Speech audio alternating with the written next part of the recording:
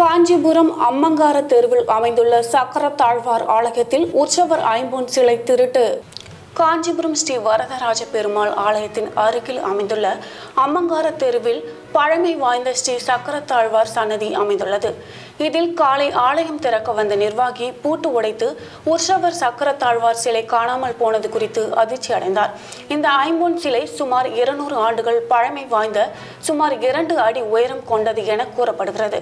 இது குறித்து விஷ்ணு காஞ்சி காவல்துறையினர் விசாரணை மேற்கொண்டு வருகின்றனர்.